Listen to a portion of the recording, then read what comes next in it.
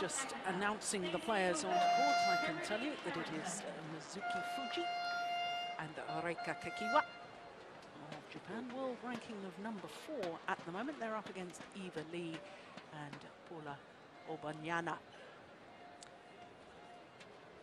So I'm absolutely delighted to welcome into the commentary box for the first time former Danish head coach, Steen Petersen. And Steen, of course, you led Denmark to two Thomas Cup finals and uh, vastly experienced coach. And I know that you've been sitting down as we welcome the players onto court, watching those first two singles. And whilst the Americans beaten in two straight games, good fighting spirit seen by them, certainly in the opening games, and, and augurs well for the future. Yeah, and, uh, especially uh, the first lady singles, uh, Rena Wang was of course uh, playing well in, in, in both games. Um, there's some signs that perhaps there's a little bit of a side drift in the hole, and, and players should, um, should get used to it. And um, I think that uh, Hirose, she uh, totally took control here in the second game. So. Yeah, she's a vastly experienced player, as we were saying earlier, a finalist at the All England Championships last year, 2011. So the toss of the coin from Ian Spear,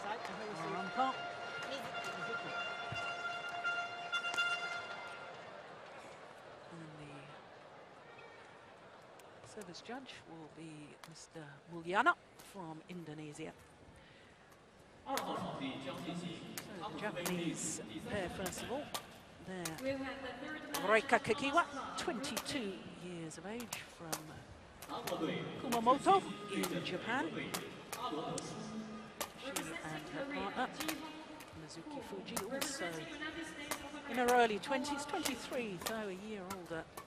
But they've been playing together since they were juniors, so this is their fourth full year on tour A vastly experience within the partnership. And as far as the Japanese pair are concerned, not only did their teammate Eriko Hirose reach the final of the All England Championships last year, so did they. Wonderful tournament for them because they were unseeded, lost in the final to Wang Xiaoli and Yu Yang, who of course are now the world champions. So their win-loss record for the year, they're currently ranked at four in the world. Seven individual tournaments this year, and as you can see, very healthy win-loss record, and that translates into two semi-finals and two quarter-finals. But interestingly, they've never actually lived up to their seeding position in their tournaments this year, apart from one occasion.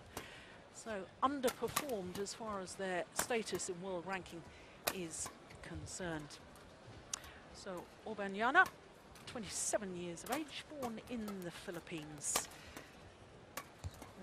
She and her partner, well you can see their win-loss record for the year, a lot more healthy than their Japanese opponents, but it should be mentioned, of course, that they have been playing some of the lower grade tournaments. There's Eva Lee, 25 years of age, from born in Hong Kong, been living in California now for some considerable time. World ranking of 30. But already this year, four finals for the American pair, winning recently in Tahiti. Runners-up in Sweden, Austria and Poland as well.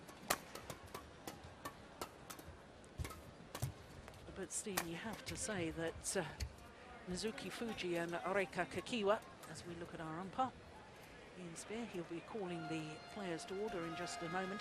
Japanese pair really are vastly experienced, aren't they, in world team uh, terms? And, you know, four titles, but four big titles to their names.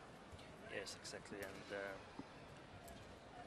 Japanese are also uh, very experienced in playing in, in, big stadiums like the one we're sitting in here in, in Wuhan whereas uh, the American pair has played mostly uh, IC tournaments, uh, probably trying to qualify for the Olympics through the Pan American spot.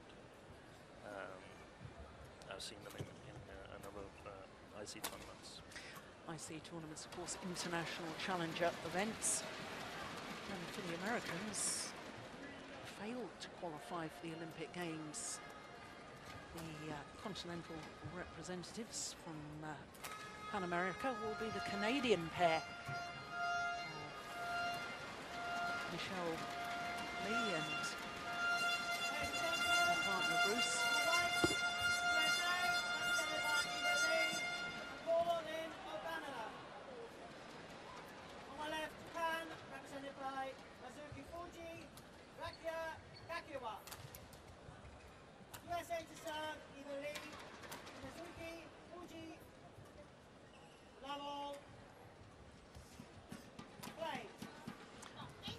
So this the first women's doubles, match number three in the overall tie. And with Japan leading 2-love so far after the first two singles. There's uh, a tall order for Eva Lee and Paula Obanana.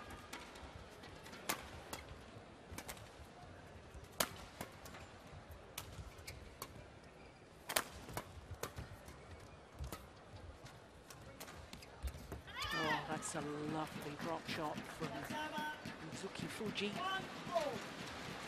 What do you what do you say as a coach, Steve, when you've got uh, if, put yourself in the American shoes here and, and you've got a pair here. They've already seen their teammates go down to the Japanese in the first two singles. Uh, clearly underdogs in this women's doubles. What do you say to them? Go out there, enjoy it, or do you give them specific tactics, or what would you say? A, a little bit of both. I mean, big thing for, for the United States to qualify in the Uber Cup. So of course they have to they have to enjoy the match. They, they're going to play two matches here, uh, one against Japan today and, and tomorrow against Denmark, and uh, and then they're probably going to go home again. So they, they definitely have to enjoy it, but also set some specific tactics goals uh, that they should try to achieve during the match. So use the match as, as um, development. So if you were advising them tactically, what specifics would you give against it? Because I know that you know the Japanese pair exceedingly well, but perhaps don't know this American pair as well. But given your knowledge of badminton, what do you see are perhaps weaknesses in the Japanese pair that could be exploited by another pair? Yeah, one of the possibilities is what we see now that the background player is uh, working a lot, whereas the, the front court player isn't really participating. So, so if they could move the background player around uh, from side to side, they might get some counter-attacking opportunities. Um, then I also think it's very important that, that they don't uh, defer too much from their own style of play. Sometimes when you meet an opponent whom you're known to be uh, bit better than yourself, you try too much and you give away a lot of easy points instead of just playing your own game and sort of uh, see what's happening.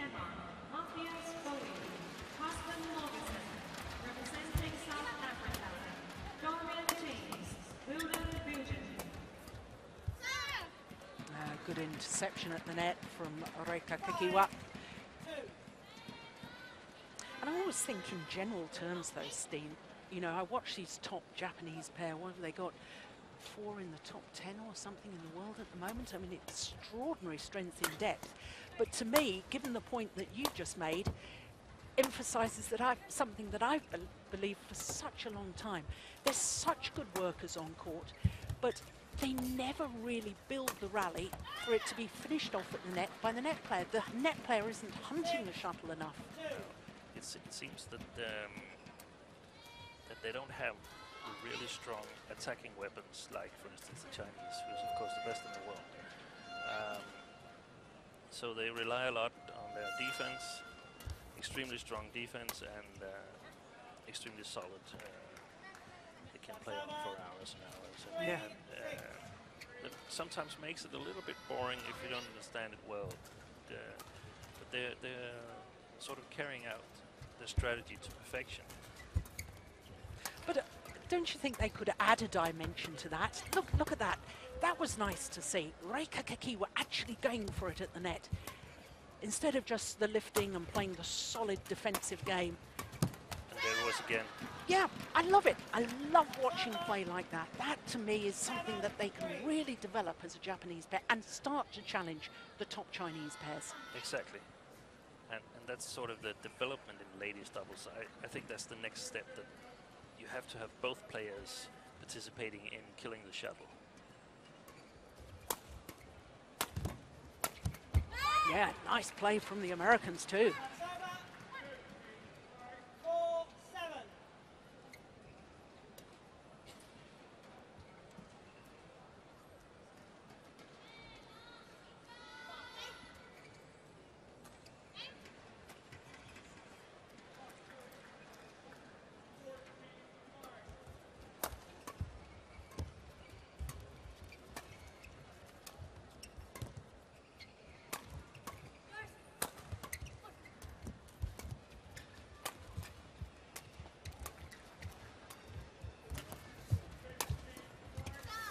Yeah, That's over. Eight. finally when she used the channel attack, the attack down the centre of the court in between her two opponents, that's when she got the advantage.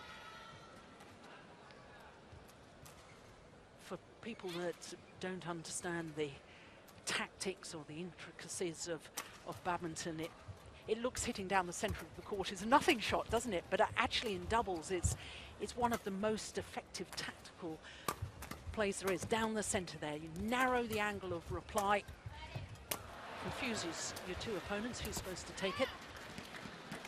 Yeah, exactly. The confusion is very important because Nine. you want to take away a oh. little bit of time for the opponent. So if they lose a little bit of time, they lose control, and you might be able to exploit that. So five point advantage now for Fujii and Kakiiwa.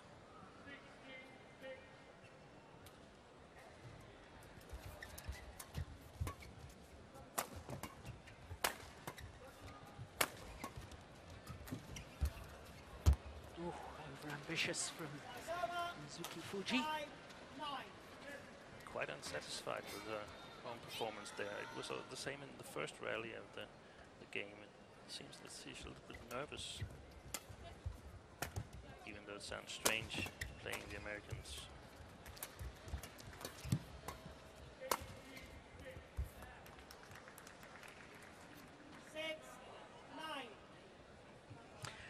Nervous because of the fact that Japan are the number two seeds here in the Uber Cup, or, or nervous perhaps because they don't really know their opponent's style? Yeah, probably uh, they're a little bit uncertain on what to expect from the Americans. And I'm not sure, of course, that she's nervous, but, but if she is, it might also be due to the fact that Japan has to select between their women's doubles pairs uh, regarding Olympic qualification. So good performance would be nice here.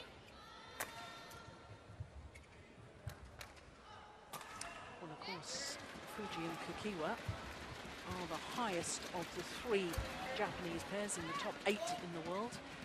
And according to Olympic qualifying rules, only two in the top eight can qualify for the games. So perhaps the pressure of that playing on their minds.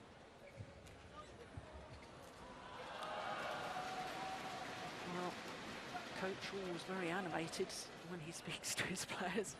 I don't think I've ever seen you animated like that, Steen. You're always very calm with your players and always involve them in discussions. I think there's a very distinctive difference between the coaching style of of us Europeans. You always ask your players questions, whereas the Asian coaches tend to tell them what they want. Is that fair comment?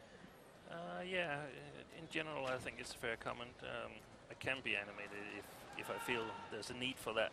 Um, normally, I think the players need a, a, a more calm advice from outside. Eleven. Six. So with the five-point advantage, play resumes here in the opening game of this first women's doubles.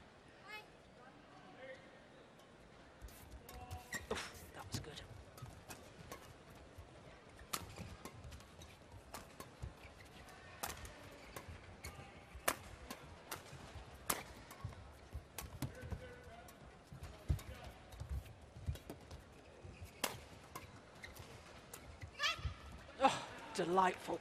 That's your point exactly, isn't it? The hesitation between the two Japanese players, neither went for it. and, and it's it's really uh, excellent play by the Americans here because uh, they sort of take the initiative in, in the rally. So it's nice to see them get rewarded for it.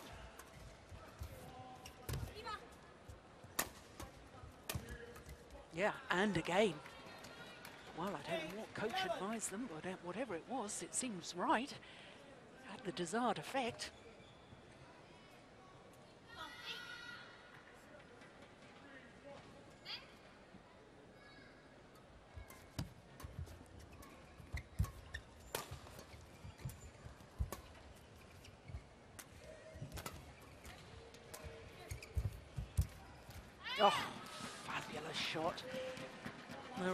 Racket head control just to brush the shuttle off the top of the tape. Guide it into that mid-court area. Perfect for doubles. It gets it past the net player, but the shuttle lands in front of the rear court player. Ideal tactics.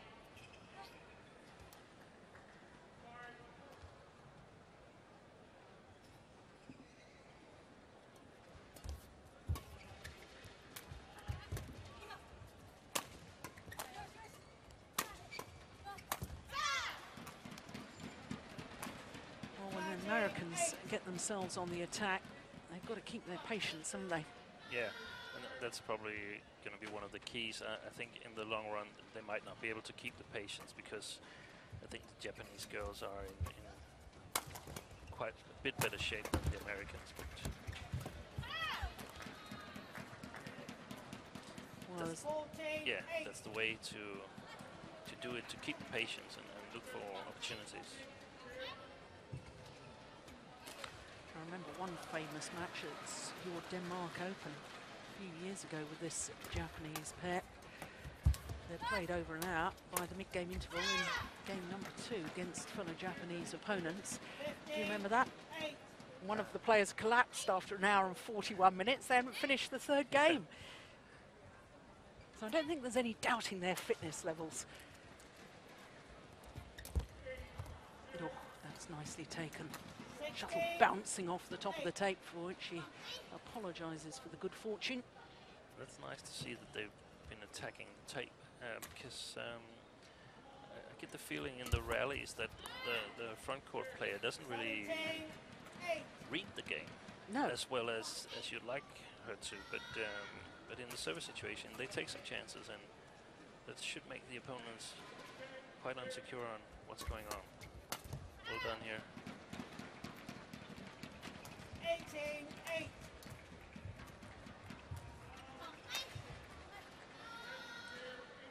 seven straight points and a 10 point advantage.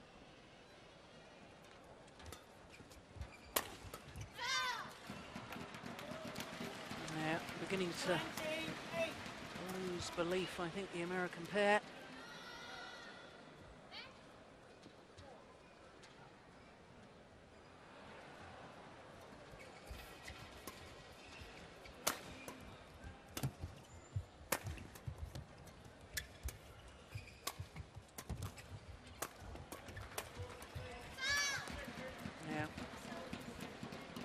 Nicely done. And that Game point, 8. brings up game points, a whole host of them.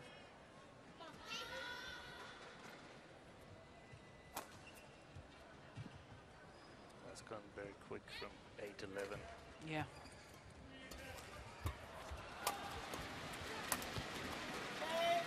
Yeah, 10 straight points from that 11-8 advantage to close it out, 21-8 in 13 minutes of play.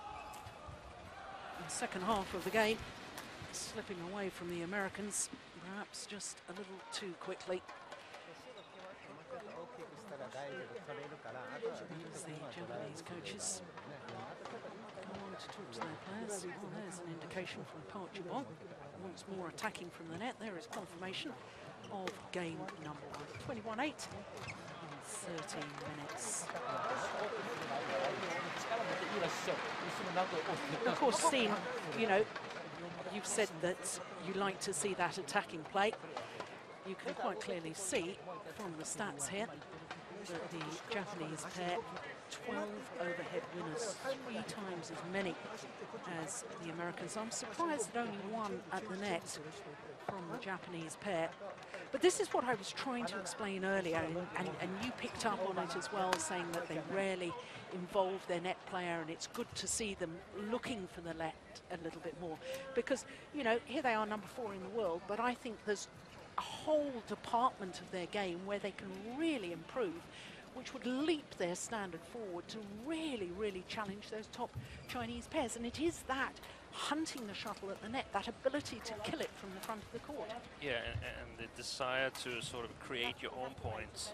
That's really, in my opinion, what separates the Japanese women's doubles from the Chinese. The Chinese are dangerous. They're able to create points themselves. And of course, the Japanese are as well. We see that they're doing it here, but, but against the lower standard of players. So they have to be able to create points against their own standard of play players uh, in the future.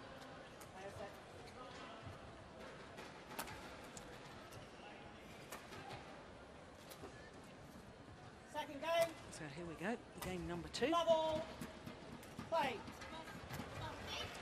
World number four ranked pair, Mizuki Fujii and Reika Kakiiwa. Absolutely galloping through that opening game. 21-8. Oh, that's a great interception from Mizuki Fujii. love.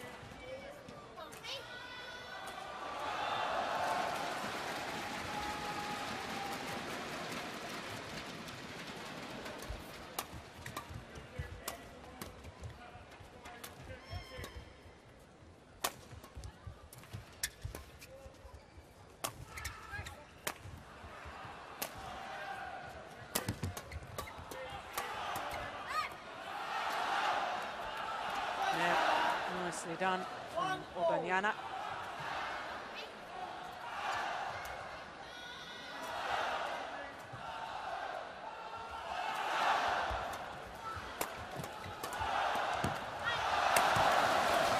Yeah, and again, well constructed points. We can see that when the Americans play on, on top of their game, they can uh, they can challenge the Japanese. The problem is that they have to play on top of their game all the time. If they lower their level a little bit, they will lose points very quickly. Yeah.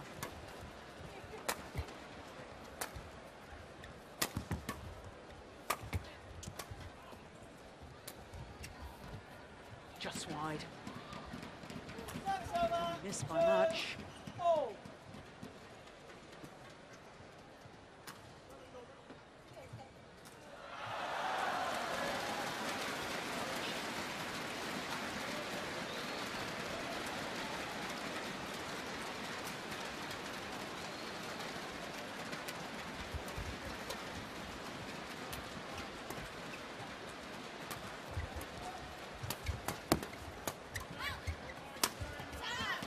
Took the half chance to go forward, did Mizuki Fujii.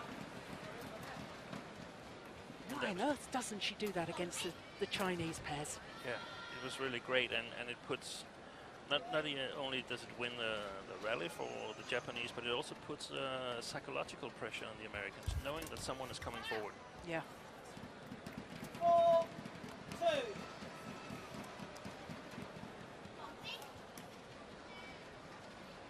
Yeah, and I suppose so much of badminton is about the, the threat of what can happen.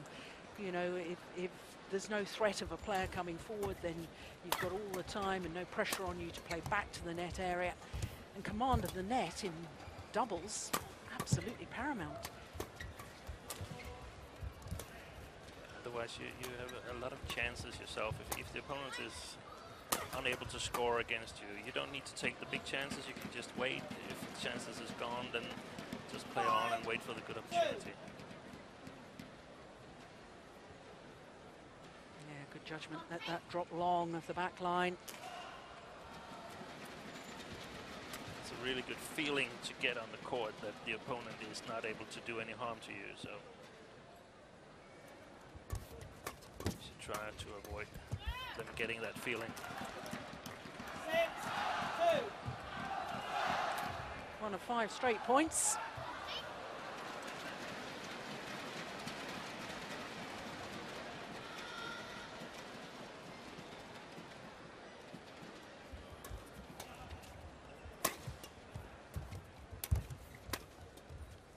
Oh, superb. Wonderful. Good reach, good anticipation in the right place at the right time. Signal, just letting her partner know where she's going to serve to.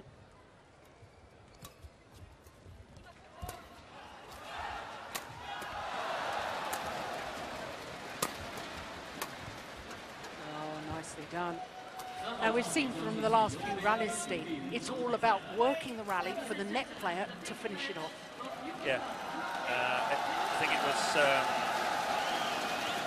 Kristen who said it was the uh, Indonesian coach. Look at it as a, as a playmaker and a finisher. The playmaker is at the back court and the finisher is at the front court. Representing China, Yu Yang, Wang Xiaoli. Representing South Uh, one of my first coaches said to me the idea of doubles is to make your partner look good because you should be setting it up for your partner to finish off. And if you're both looking good on court, you're both doing your job. Exactly. it's really an easy game.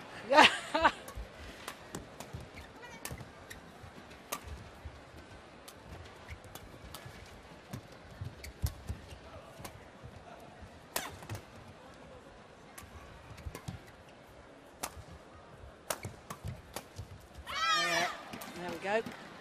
Just proving our point. Nine. Three.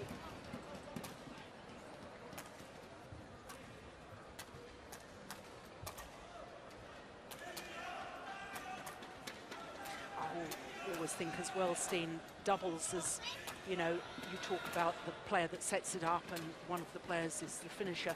I always think as well that the movement off the shuttle for the net player to always threaten and always make your opponents feel that I'm going to take this next shuttle, I'm going to manage to intercept. It's a bit like the footballer, you know, on, on a football pitch, they make runs off the ball, drag defenders with them, and then, of course, that leaves a space for one of the other attackers to go through.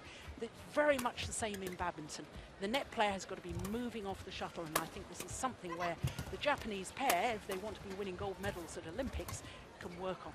Yeah, I think uh, generally uh, the Japanese are are not reading the game on the front court as well as uh, Chinese players, uh, Danish players at the moment, uh, perhaps Indonesian players who's got a more uh, sort of playing uh, attitude towards uh, doubles.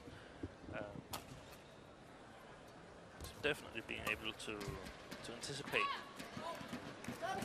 a little bit better would be beneficial. So a seven-point advantage at the mid-game interval here in the second.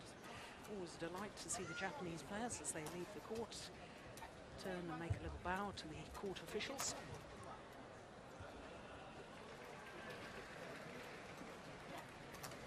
Uh, Japanese coach is can't hear what he's saying, but he's obviously by his hand gestures there urging his players to keep moving forward and keep looking for things at the net. Even if we could hear him, Gill, we'd still be in trouble. Court one. 20 seconds. be able to speak a bit of Japanese there. Steen. We, we saw that the Japanese coaches are quite confident now because uh, Joo-bong Park he stayed on his chair. He wasn't there now, so it's going to go their way. Yes, of course. Park Joo-bong, the head coach of the Japanese team, and when he's sitting calmly at the back of the court, a very clear indication, as you say, Play. highly confident now, Japanese players.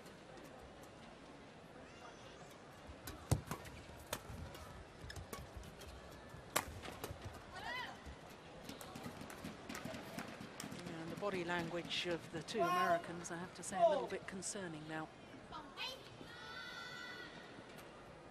They're not really, they're not really believing that they can turn this match around.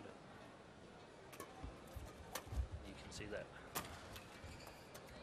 Yeah, didn't react to that eagerly. 13. Four.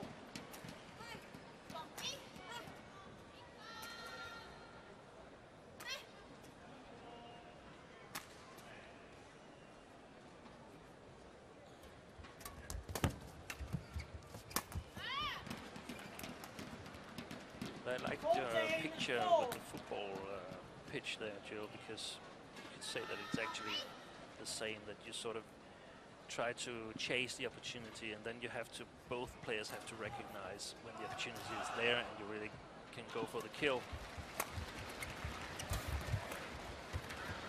And that's the beauty of doubles because you can get yourself out of position because as long as your partner has that understanding that they move to cover the other three quarters of the court while you're just in one tiny section and, and that understanding between the two players is a huge part of what makes a good doubles partnership.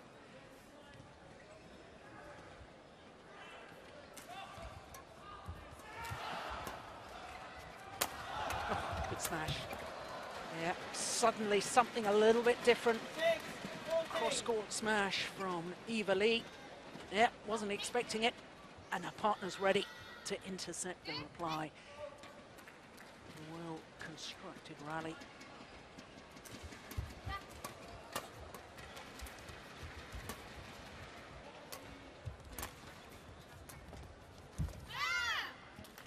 Delightful drops though from Fujii.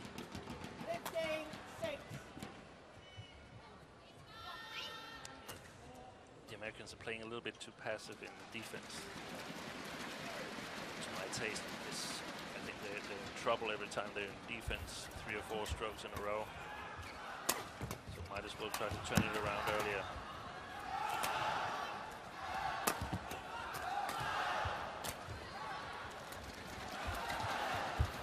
overdone it. Just to pick up on that point, Steen, how do you want to see them turn that around? If, if they're forced to defend, you want to see them drive it back or block it to the nets? Yeah, e- either way they can. Uh, i- if uh, I- I want them to come a little bit uh, closer to the net, move a little bit forward, so they uh, they can take the opportunity. Uh, it's very difficult if you're standing uh, close to the baseline and making some constructive shots. You give the opponent too much time. And of course, the further back in court you are, the lower the shot is going to be if it, somebody has smashed at you, and therefore you have to just lift it. There's very few opportunities. A lot of players tend to to move too far back because they can sort of save the shots and it doesn't really matter because they will just lose it uh, three shots later than they normally would so they might as well challenge themselves and come forward to the net if they're not good enough then they will know that sometimes they, they kid themselves that, that they actually have a good defense but they haven't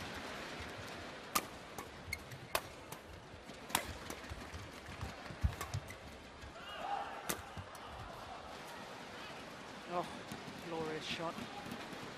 Mizuki Fujii 18, 7. doing something positive on defense. quite agree with the line judge there I thought it was wide Well, seeing that again, I suspect you're right. Of course, the umpire is allowed to overrule a line decision, but he has to do so immediately and only if he's seen that a clear error has been made. No overrule from Ian Spear on that occasion.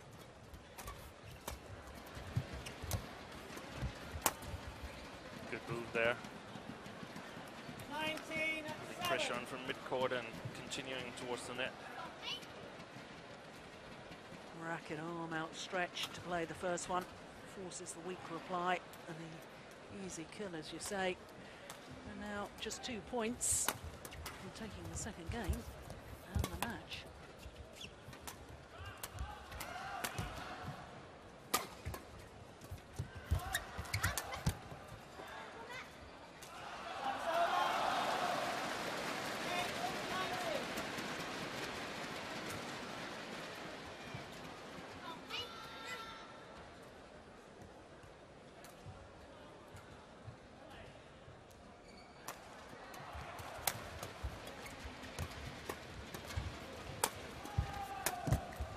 Oh my goodness, got it back.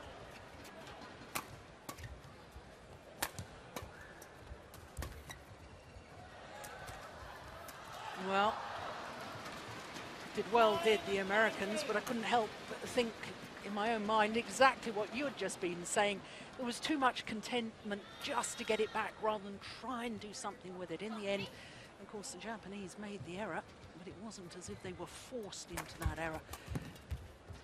That you and I would like to see more of. There's another simple lift.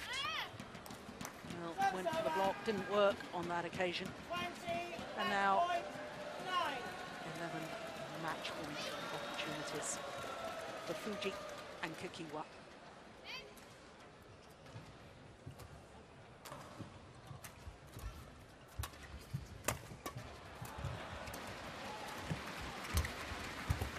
Uh, first time of asking. A very comprehensive performance from the world number fours. Mizuki Fujii and Reika Kakiiwa. 21-8, 21-9. Just under the half hour mark. But in all honesty, signs to me that they are trying to play a lot more aggressive in their style. And if they are trying to change their style, playing against the Americans Eva Lee and Paula Obanana, a great place to try that out. As you can see, 30 minutes and 21-8, 21-9 the margin of victory in the first women's doubles